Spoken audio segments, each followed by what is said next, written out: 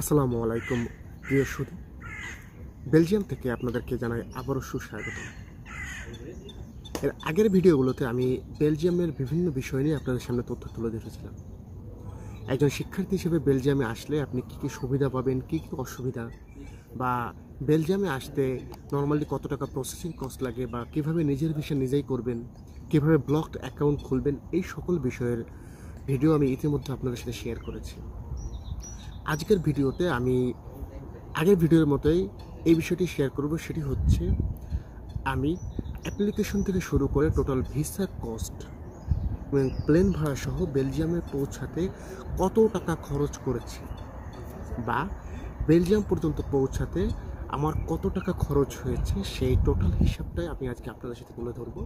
যেন আপনাদের কাছেও বুঝতে সুবিধা হয় বা আপনি যেন বেলজিয়ামে আসার আগে একটা প্রেডিকশন ধারণা পেয়ে যান যে এত টাকা আপনার খরচ হতে পারে।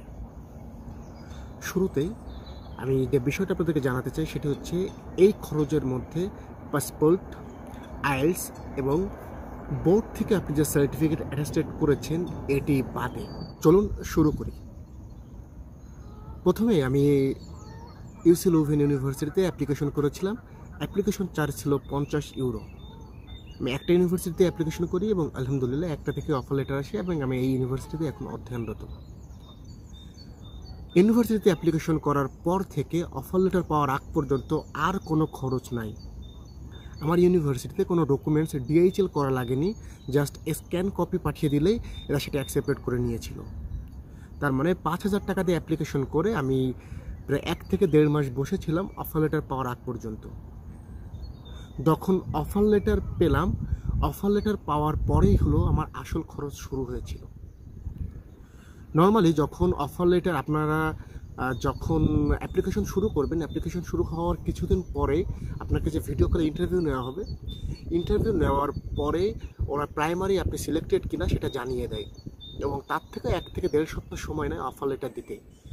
এই যে যখন আপনাকে জানিয়ে দেবে, ঠিক এই মুহূর্তে আপনার আর একটা খরচ আছে, সেটা হচ্ছে পুলিশ ক্লিয়ারেন্স যখন আপনি মেইল পাবেন যে আপনি প্রাইমারি সিলেক্টেড আপনি সঙ্গে সঙ্গে সোনালী ব্যাংক থেকে পাঁচশো টাকার একটা চালান কেটে পুলিশ ক্লিয়ারেন্সের জন্য আবেদন করবেন।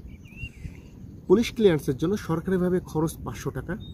অনেক সময় হয়তো বা যে অফিসার ইনভেস্টিগেশনে আসে, তাকে হয়তো বা আপনি খুশি হয়ে বা তাদের হিসেবে কিছু টাকা দিতে হয় বা দেওয়া না লাগে, এটা সম্পূর্ণ এই খরচের বাইরে। পাঁচশো টাকা দিয়ে পুলিশ ক্লিয়ারেন্সের আবেদন করে রাখার পরে হয়তো বা আপনি পনেরো দিন বা বিশ দিনের মধ্যে পুলিশ ক্লিয়ারেন্স পেয়ে যাবেন। এবং এই সময়ের মধ্যে আপনি যখন অফার লেটার পেয়ে যাবেন, আপনার আসল খরচ শুরু হবে তখন থেকেই। অফার লেটার পাওয়ার সাথে সাথেই যে প্রধান কাজ, সেটি হলো ব্লকড অ্যাকাউন্ট খোলা। কীভাবে ব্লকড অ্যাকাউন্ট খুলবেন? কোন কোন শাখায় ব্লকড অ্যাকাউন্ট খোলা হয়? কোন কোন ব্যাংকে এই কাজটা করে থাকে? যদি এই বিষয়ে আপনাদের ধারণা না থেকে থাকে, তাহলে আমি এই ডিসক্রিপশন বক্সে ব্লক অ্যাকাউন্টের সকল প্রসিডিউর সহ যে ভিডিওটি করেছি, সেটার আপনার লিঙ্ক দিয়ে দেবো, আপনারা এখান থেকে দেখে নেবেন। আমি যখন ব্লকড অ্যাকাউন্ট খুলেছিলাম, সেই সময় আমার ফাইল ওপেনিং চার্জ ছিল পাঁচ হাজার সাতশো পঞ্চাশ টাকা। আর এগারো হাজার ইউরো আমাকে ইউনিভার্সিটিতে পাঠানো লেগেছিল। এখন হাসি, হিসাবটা কীভাবে এখানে করা হয়? খুবই সিম্পল আপনি যে সাবজেক্টে পড়তে আসবেন বা আপনার যত টাকায় টিউশন ফিস হোক না কেন, নয় হাজার ইউরো হচ্ছে কমন প্রত্যেক মাসে সাড়ে সাতশো ইউরো আপনার লিভিং এক্সপেন্স ধরে বারো মাসে নয় হাজার ইউরো এবং এর সাথে টিউশন ফিসটা অ্যাড করা হয়। যেমন আমার টিউশন ফিস ছিল এক বছরে এক সতেরোশো আশি ইউরো আর দুইশো বিশ ইউরো অ্যাডমিনিস্ট্রেশন ফিস ধরে নয় হাজার প্লাস দুই হাজার, এগারো হাজার ইউরো আমাকে এখানে পাঠাতে হয়। অতএব এখানে এগারো লাখ টাকা ফিক্সড যেটা ইউনিভার্সিটিকে আমার দিয়ে দিতে হয়েছে ইউনিভার্সিটি আমাকে নয় লাখ টাকা এক বছরে ব্যাক দিবে। এর সাথে সাথে আর যে কস্টগুলো আসে, প্রথমে ফাইল ওপেনিংয়ে পাঁচ হাজার সাতশো পঞ্চাশ এবং এই এগারো লাখ টাকা ট্রান্সফার করতে সুইফটের চার্জ ছিল চার হাজার সাতশো টাকা। ঠিক একই দিনে আমাকে কন্ট্রিবিউশন ফি এটা আপনি যে করেছে আসুন না কেন স্টুডেন্ট হিসেবে বেলজিয়ান সরকারকে আপনার দুইশো নয় ইউরো কন্ট্রিবিউশন ফি দিতেই হবে। এবং এটারও সুইফট চার্জ ছিল প্রায় পঁয়তাল্লিশ ইউরোর মতো। তার মানে এখানেও সুইফট চার্জ ছিল প্রায় সাড়ে চার হাজার। ঠিক একই সাথে আপনার অ্যাম্বাসির ভিসা ফি অ্যাম্বাসির ভিসা ফি ছিল পনেরো হাজার ছয়শো ইন্ডিয়ান রুপি যেটাকে বাংলাদেশি টাকায় কনভার্ট করলে প্রায় উনিশ হাজার টাকার মতো এসেছিল এবং এখানেও সুইফটের চার্জ ছিল প্রায় চার হাজার টাকার মতো। তার মানে তেইশ হাজার টাকা আপনার অ্যাম্বাসি ফি বাবদ আমাকে দিতে হয়। তেত্রিশ হাজার টাকা আমাকে দিতে হয় কন্ট্রিবিউশন ফি এবং এগারো লাখ টাকা পাঠানোর জন্য swift charge plus bank opening charge এখানে আমার আরও দশ হাজার টাকা খরচ হয়।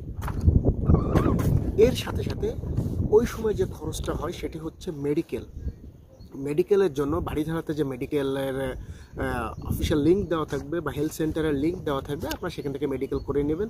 আমার সময় খরচ হয়েছিল চার হাজার পাঁচশো টাকা।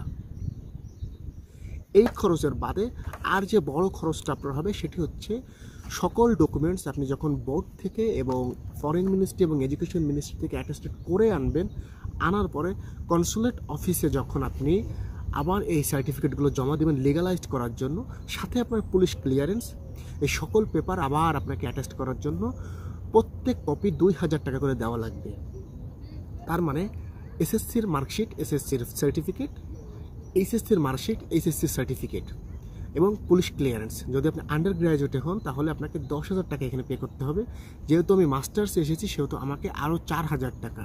তার মানে অনার্সের সার্টিফিকেট এবং অনার্সের মার্কশিট।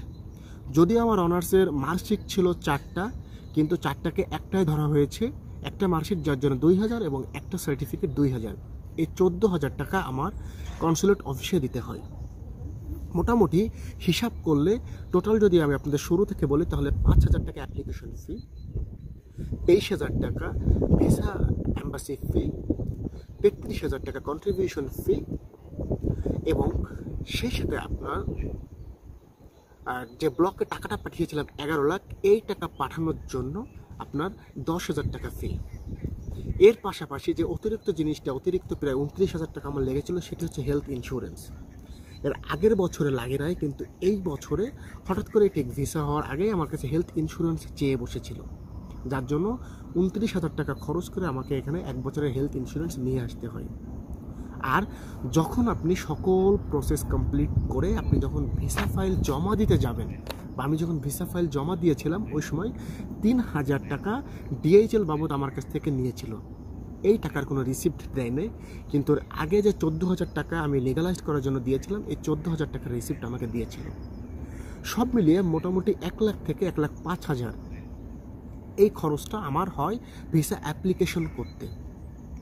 তার মানে এগারো লাখ টাকা নিট আপনার tuition fees plus living expense সহ ব্লকড অ্যাকাউন্টে আমি যেটা পাঠিয়েছি, এক লাখ টাকা আমার ভিসা খরচ এই বারো লাখ।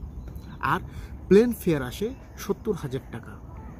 যেহেতু সেপ্টেম্বর সেশন সেহেতু সেপ্টেম্বর সেশনে আপনার প্লেন ফেয়ারটা তুলনামূলকভাবে বেশি থাকবে। আমি টোটাল সেপ্টেম্বরের পনেরো তারিখের মধ্যে আট তারিখের ফ্লাইটে এই কম পেয়েছিলাম। তাও এটা অ্যাকচুয়াল ফেয়ার না, এটা স্টুডেন্ট ডিসকাউন্টে আপনারা জেনে খুশি হবেন যে যদি আপনার বয়স চৌত্রিশ বছরের নিচে হয়ে থাকে, তাহলে কম বেশি সকল এয়ারলাইন্সেই আপনার স্টুডেন্ট কোঠা বা স্টুডেন্ট ডিসকাউন্টের সুযোগ থাকে। অনেক এয়ারলাইন্স আপনার তিরিশ থেকে বত্রিশ বছর পর্যন্ত বয়স সময় দিলেও টার্কিশ এয়ারলাইন্সে এটি থেকে চৌত্রিশ বছর পর্যন্ত এবং প্রথম জার্নিতেই প্রায় দশ থেকে বারো পার্সেন্ট ডিসকাউন্ট পাওয়া যায়, যেটি আমি পেয়েছিলাম। যদি আপনাদের কীভাবে তারিকিশ এয়ারলাইন্সের মেম্বার হবেন, কীভাবে স্টুডেন্ট ডিসকাউন্টের ওই অ্যাকাউন্টটি বা প্যাকেজটি আপনি চালু করবেন, এটা সম্পর্কে জানতে চান, তাহলে আমাকে কমেন্ট সেকশনে জানালে আমি এটা নিয়েও আপনাদেরকে ভিডিও দিব। এটা খুবই সহজ একটা বিষয় জাস্ট ওদের ওয়েবসাইটে ঢুকে আপনার যে অফার লেটারটা পাবেন অফার লেটার আপলোড করলে আট থেকে দশ দিনের মধ্যে ওরা আপনাকে রেসপন্স দিয়ে দেয়। যেমন যদি আমি বলি, ওই আট তারিখে ভোর সাড়ে ছয়টার ফ্লাইটে মিনিমাম ফেয়ার ছিল উনআশি হাজার টাকা। আমি এই মাইলস অ্যান্ড স্মাইলসের মেম্বারশিপ হওয়ার কারণে আমার ফেয়ারটা কমে এসে দাঁড়ায় সত্তর হাজার টাকাতে সো আপনারা যখন আসবেন, তখন আপনারা এইভাবে অ্যাপ্লাই করবেন, তাহলে আপনাদের প্লেন ফেয়ারটা অনেক কমে আসবে। মোটামুটি যদি রাউন্ড ফিগার বলি তাহলে বারো লাখ আর এই প্লেন ফেয়ার সত্তর হাজার। এই বারো লাখ সত্তর হাজার টাকা আমার নিট খরচ। এর পাশাপাশি শপিং বা বেলজিয়ামে আসা বাবদে যে টাকাটা, এটা আপনি, আপনার উপর নির্ভর করবে আপনি কীভাবে নিয়ে আসবেন বা কী বিষয়ে। তবে ধরে রাখা যায় আপনার প্রসেসিং কস্ট বাবদ এক লাখ বা এখন যেহেতু ইন্ডিয়াতে যদি যাওয়া লাগে দিল্লিতে, তাহলে সেক্ষেত্রে প্রসেসিং কস্টে আরেকটু বেশি আসবে। আর প্লেন ফেয়ারটা যদি আপনি এরকম আগে ভাগে টিকিট কেটে রাখতে পারেন, তাহলে এরকম কম বেশি এরকম একটা ইয়ে আসবে। আর ব্লকের যে বিষয়টা ব্লকের বিষয়টা খুবই সিম্পল আপনি যে কোর্সে আসবেন, যত টাকা টিউশন ফিস নয় হাজার ইউরোর সাথে ওই টিউশন ফিসটা অ্যানুয়ালি অ্যাড করলে আপনি মোটামুটি ক্লিয়ারলি ধারণা পেয়ে যাবেন যে বেলজিয়ামে আপনি এক বছরের জন্য আসলে আপনার কত টাকা বারো লাখ থেকে তেরো লাখ এর মধ্যে আমি আশা করি আপনাদের হয়ে যাবে এবং আপনারা এই বাজেট নিয়ে বেলজিয়ামে সহজে এসে পড়াশোনা করতে পারবেন। ধন্যবাদ, সাথেই থাকবেন। পরবর্তী ভিডিওতে দেখা হবে।